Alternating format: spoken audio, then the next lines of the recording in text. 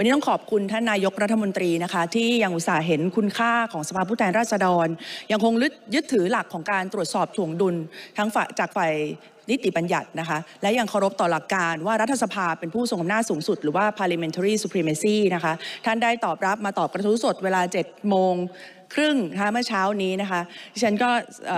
ขอแสดงความขอบคุณ แล้วก็ขอให้ครั้งนี้ ซึ่งเป็นครั้งแรกที่ท่านมาตอบ กระทู้สดของพรรคฝ่ายค้านที่ใหญ่ที่สุด แต่นี่จะไม่ใช่ครั้งสุดท้ายนะคะ วันอาทิตย์หน้าค่ะท่านเคลียร์ตารางไว้ได้เลยค่ะ เพราะว่าเราได้เตรียมข้อมูลที่จะถามท่านนายกรัฐมนตรีเอาไว้แล้ว หรือถ้าอาทิตย์หน้าเคลียร์ตารางไม่ทันนะคะ ว่าท่านว่างพฤหัสไหน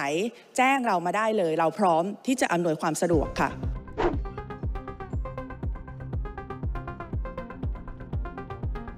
ก็ยืนยันนะครับ ว่ารัฐบาลนี้ ภายใต้การนำของผมเองเนี่ยก็เราจะวิ่งสู้เพื่ออนาคตนะครับ แล้วก็พักร่วมทุกๆพัก